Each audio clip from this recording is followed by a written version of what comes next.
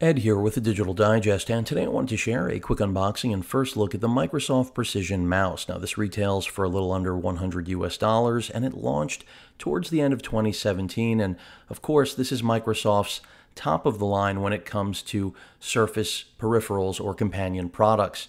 It does recharge uh, with an included micro USB cable, so unlike other mice, uh, in fact, most mice from Microsoft, this does have an internal rechargeable battery. As you can see right there, we've got a forward and back button. This is Bluetooth 4.0, much like uh, the balance of Microsoft's peripherals that they launched alongside uh, Surface products at the same time. And basically, what you're going to get here is what I would say is a best in class uh, mouse, but you know, is it expensive? Of course, most of you out there know that I'm a Logitech guy generally. Uh, almost all of my peripherals have and still are to the, I would say, larger extent. Uh, they still are Logitech. So this is going to be a new outing for me. It's not the first time I've used a Microsoft mouse, uh, that's for sure. But it is the first time I'm dipping into their peripherals that are supposed to be companion products, as I keep saying, to the Surface. So that seal didn't quite break even with that knife, but we've got it. Unboxes, um, unboxes, unboxings have never been my forte, but I still do them nonetheless. Uh, you're looking at, again, in my opinion, what is arguably one of the nicest mice on the market.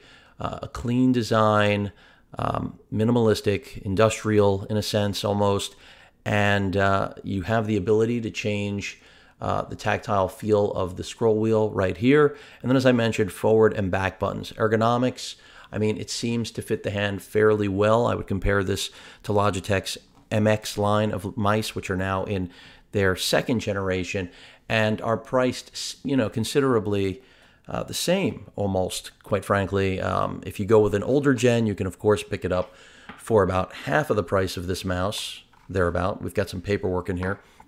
But in my opinion, for the price that Microsoft is asking for for this, which again at launch was 100, but now is considerably less. I think it's you know somewhere around 80, but I, I'm sure you can find it on sale for less. There's your micro USB for charging the mouse.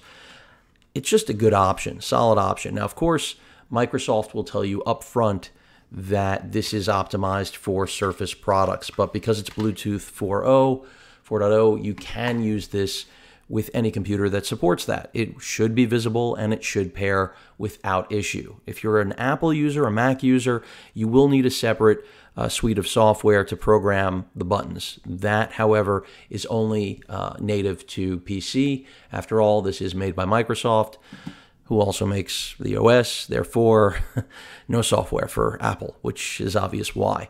Um, but outside of that, again, Nice mouse. Uh, you know, it does have the ability also to pair with up to three different computers. So if you're looking for a multitasker, uh, one mouse that can control multiple computers, this isn't a new feature by any means. My Logitech, you know, Logitech mice have been doing this for years, but Microsoft was savvy enough to realize that's a must-have feature on a premium or in general high-end peripheral like this one. So again, I think the price is reasonable. I think the design is spot on for what you'd expect to match the entire Surface uh, language in terms of their uh, design language is what I would say.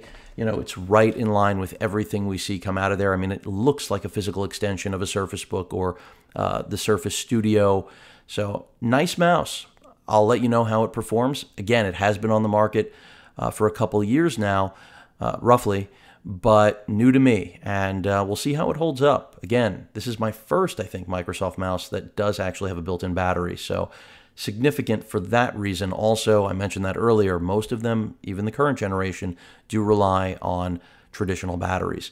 That pretty much sums things up. Again, this is the Microsoft, I'm going to call it Surface Precision Mouse, driven by Bluetooth, and uh, of course has its own internal battery. Any questions or comments, please feel free to post them. Hit that like button. And as usual, please feel free to subscribe. Later.